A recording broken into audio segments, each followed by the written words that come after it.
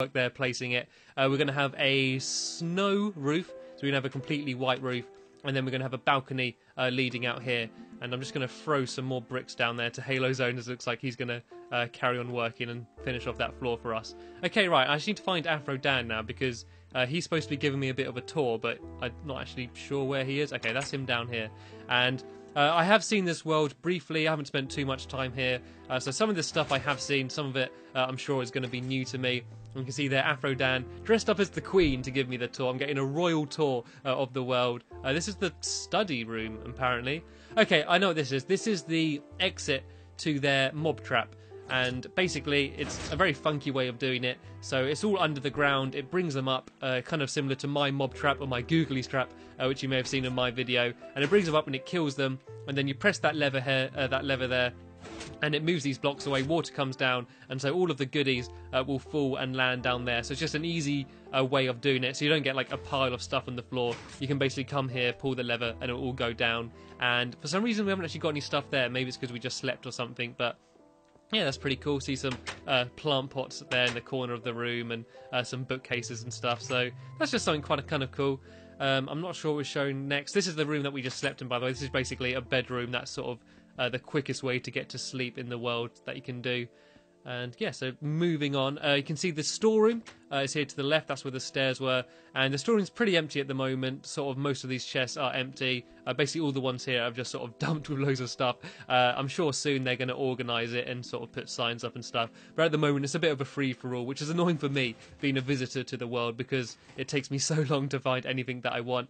Uh, here's a furnace room. See, these are blocks of lapis. They've actually found quite a lot of lapis already, and they got a branch mine down there. And the way you get into the mine uh, is actually really cool. You can see there, you kind of got a glimpse of it. You place the minecart down, you pull the lever, and it pushes the minecart out, and then you kind of just roll down, which is kind of a, just sort of a novelty way of doing it. And it I don't I don't know if it's necessarily that much better than a standard way but it's something a bit different. And once again Afro Dan being the king of all things pistons or the queen I should say of all things pistons that's sort of just something um, he decided to do. That tower there you should ignore because that was someone who came into their world and they sort of just build that monstrosity and they're basically waiting for them to come back to the world to take it out. It's a bit of an ugly tower, sort of half finished, and it's actually got cannons in there which are aimed towards the house, so kind of ignore that. And oh, down here, I'm not actually sure uh, what it is down here. This might actually be the light switch. Um, uh, farm. Yeah, this is. Uh, so this is going to be where they're going to get their crops from. Uh, you can't see they haven't actually put any wheat in here yet, but this will be full of wheat. And you can see that you pull a lever from the outside, and the pistons cover up all of these blocks, which covers up the light from these torches, uh, which will mean that all of the uh, crops will then pop up and make it easy to capture. So it's kind of similar uh, to what I've got in my world, if you've seen that.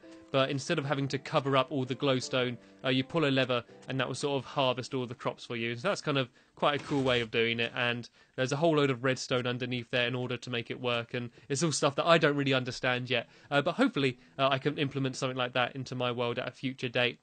Here, once again, another easy way of farming. You can see a load of sugar canes here, and you just press one button, which is up here, I believe. Yeah, there we go. And all these pistons extend, and it pushes down all of the sugar cane, making it so you can easily uh, get it, and it sort of comes down this stream, and then you can just sort of collect it really easily. So you literally have to press one button, then you can just sort of stand here for a bit, and all of the sugar cane will slowly uh, just stride towards you in the uh, stream of the water there. So very much going for efficiency uh, in this world, and it's very it's very much a mechanical world, lots of pistons and redstone and stuff, and that's sort of uh, really Afro Dan's forte. That's what he really enjoys building. Uh, where I more just try and build sort of pretty looking rooms and buildings and stuff. So you see sort of our own different styles of doing stuff there.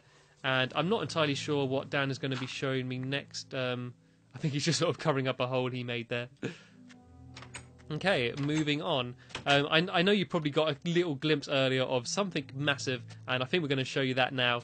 Uh, I accidentally gave you a glimpse of it earlier, but I didn't want to talk about it yet until I can give you a full tour. But here you can see uh, a work in progress, a massive uh, memorial to Gregory the dog. This is here a massive version of my dog Gregory. If you don't know who Gregory is, uh, it was my very first dog which I had, which unfortunately got killed by a skeleton, and I miss it so much, and I know quite a lot of you uh, miss Gregory as well. So they decided to build a massive memorial to him, and it's not finished yet. Uh, they've actually still been building it in this world, and oh, looks like Dan's got something else to show me first. that's not a very elegant way of getting my attention. You know, you could have just teabagged or something in front of me. You didn't have to smack me around the face. Okay, I'm not sure what I'm being shown now. I told you some of this stuff I have seen, and some of it I haven't seen, and this is something that I haven't actually had a proper look at yet. Okay, looks like they might have actually built something in here. Uh, last time I heard, it was actually uh, one of my mates, uh, uh, Cornish, uh, came in and just sort of built this and then left the world and didn't sort it out. But maybe they've redeemed it and built something else in here. So let's take a look at what it is. I hate using water to go to go up. It's so ridiculously slow. I'm pretty sure it is slower than a ladder. This has got to be slower than a ladder. They, they, they could have put a more efficient way of getting up here. I actually did a um a let's play of the game Ico. I'm not sure if I'm going to be uploading it yet by the time you watch this video. And uh, there's a girl in there called Yorda, and she climbs ladders so slowly. It got to a point where I'd have to like come up with some jokes so I could just sort of say jokes while she's climbing a ladder because it would take so long, and I'd sort of run out of things to say. I think it might have actually just been taking me up here to sort of get a good view of Gregory, or is this like a diving board? I know this is just a really good view. Yes, you can see how massive it is. Uh, it is absolutely huge, and they haven't finished it yet because they haven't done sort of the pattern on his fur. Uh, I think they're just going to be filling that in now. It's going to be a mixture of snow and uh, white wool because they're actually uh, a slightly different tone of white, and they've got some stone and stuff. And yeah, it's a, it's a pretty massive, impressive thing, and it's just quite cool because it's Gregory.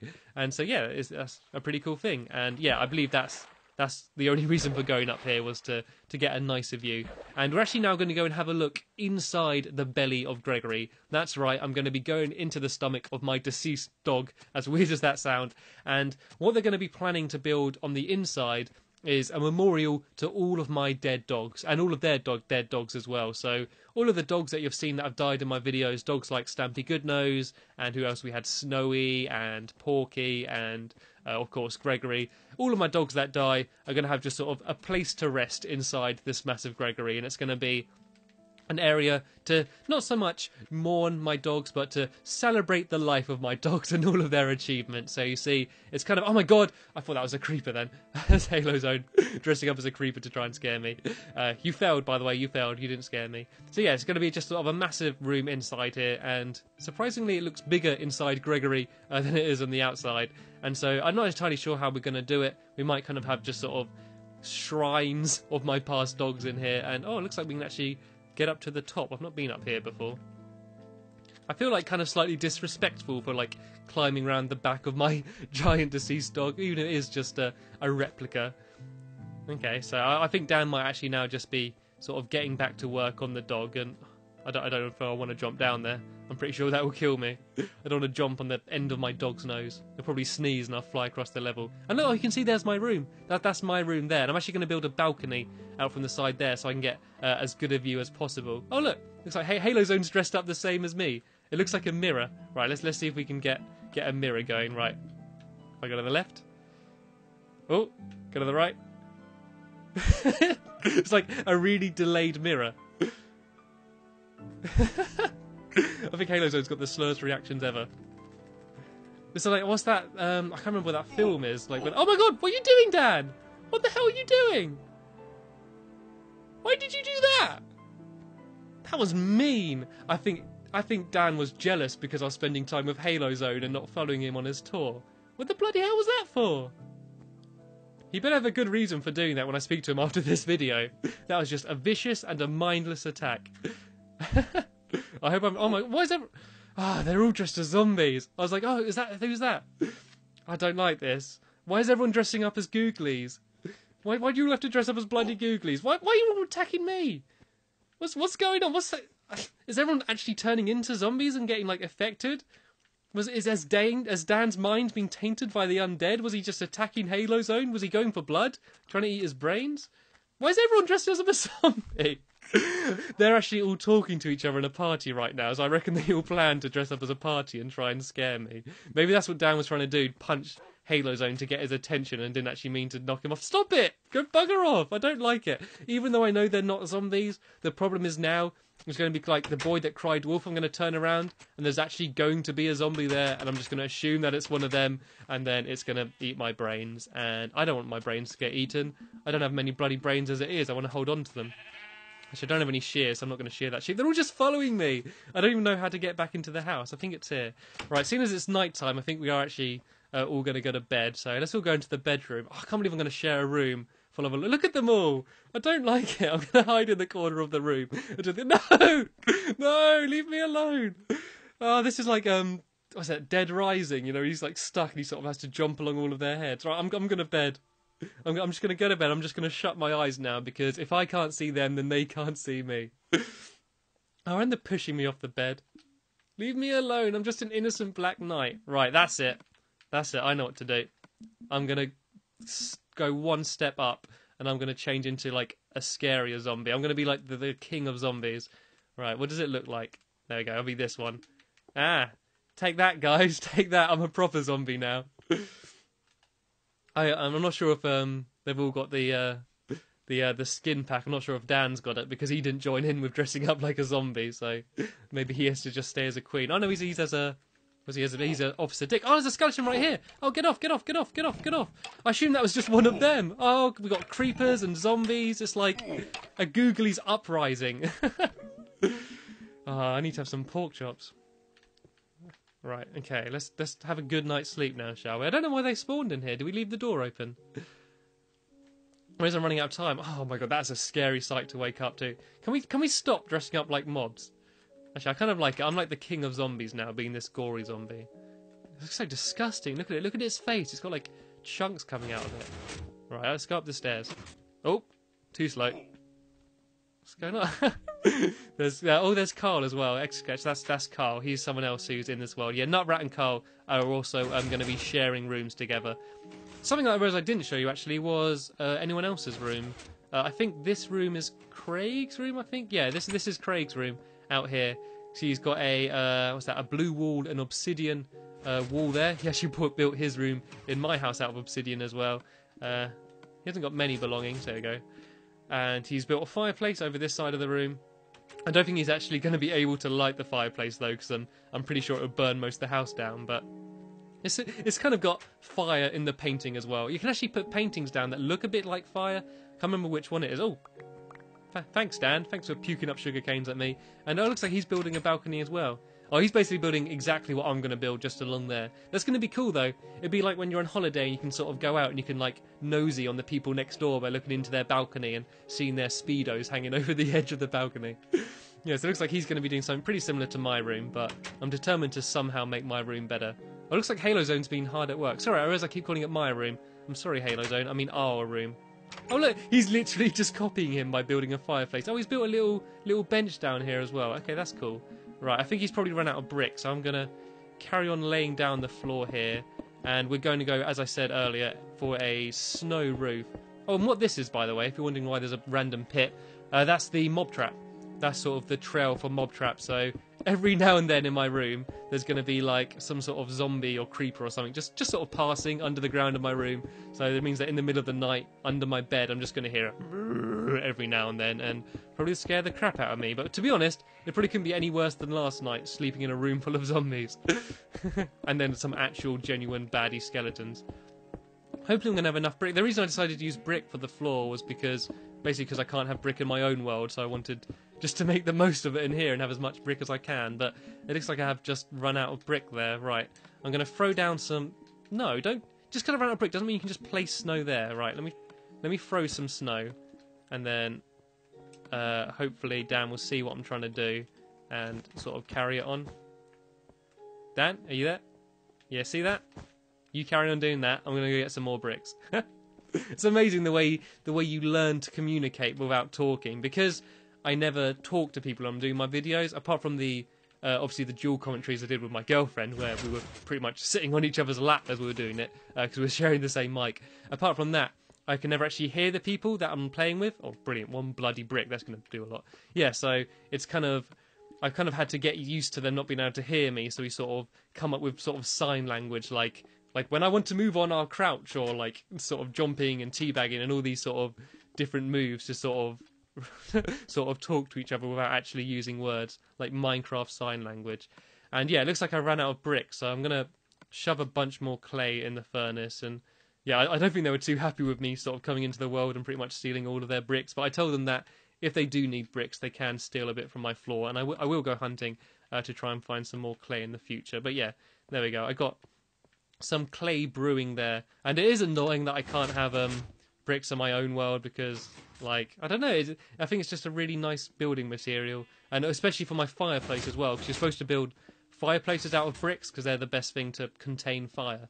Uh, but I couldn't do that. But as I say, I'm going to make the most of it. Oh, here's Nutrat's Nook. Let's have a look in here quick. Okay, well this is Carl's and Nutrat's room. They've actually, seen as they're they're sharing, they've built uh, a fence down the middle. You know, like when you're a kid and you're like, "Here's a line. This is my side of the room. This is your side." They've basically done that, and Carl looks kind of upset because Nutrat's decorated his room with bookcases, and his looks all nice with pictures, and Carl's just got a couple beds. he's just standing there. He looks, I don't know, he just looks really upset. Oh no, there we go. He, he's happy. Anyway, yeah, so this is their room.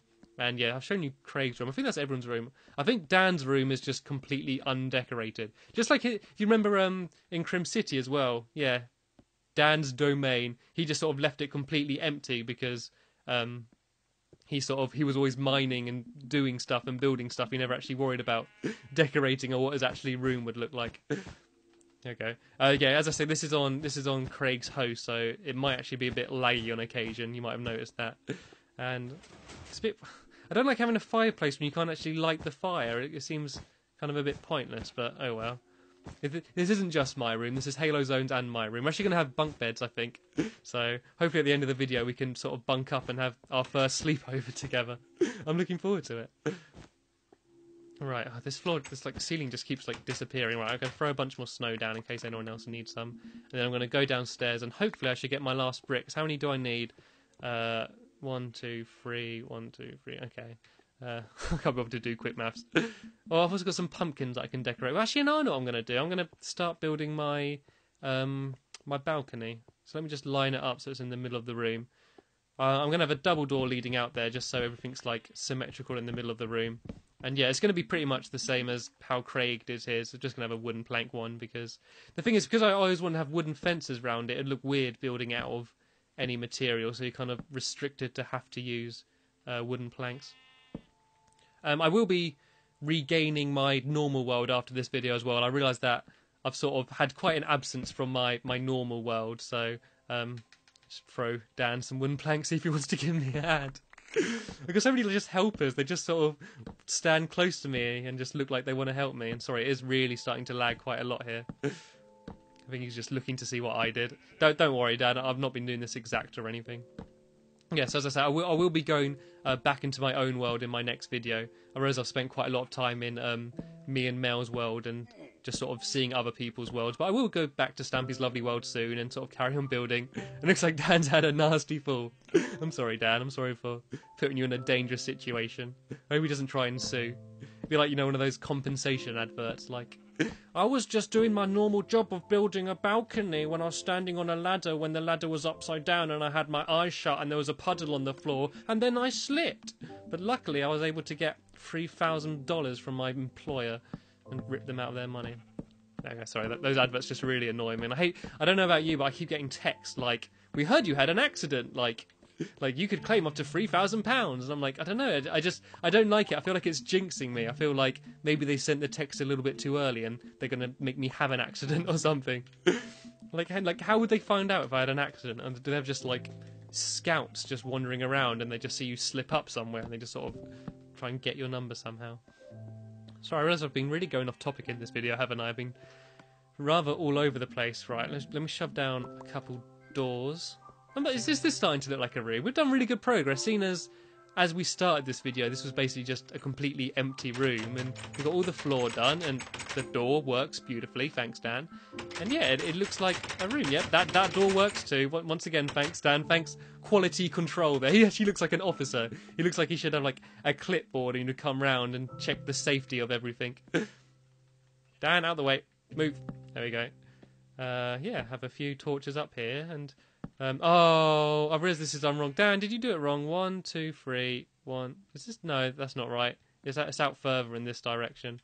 Um, apparently, I've just found out that you're not actually supposed to use an axe to get rid of fences, and I've always been using one. I feel I feel weird not using one now though. Yeah, this needs to be one more extended this way, and then I think it's just about going to be night. We're Going to build our bunk beds, and then I think we're going to going to go to sleep. And that's just about in this video. So, as I say, if you want me to feature your world, um, just send me a private message on YouTube. Uh, obviously, the bigger, the better, the more fantastic it is. I'd like it. But even if you just built a few cool things, you just sort of want to show them off and share them with the world. Maybe I'll do a video where I sort of uh, go and feature like feature a few like people's worlds in one video and stuff. And I know you might not be thinking this is the most fantastic world ever, but this is the new world that they've just started. And I caught sort of seeing as like it was with Craig and Dan, and like I've shown them in previous videos. I thought like it might be cool to just sort of keep coming back to this world every now and then and just sort of update you with what they've done and stuff. And Dan, what you what have you got, why have you got rid of the fences on this side?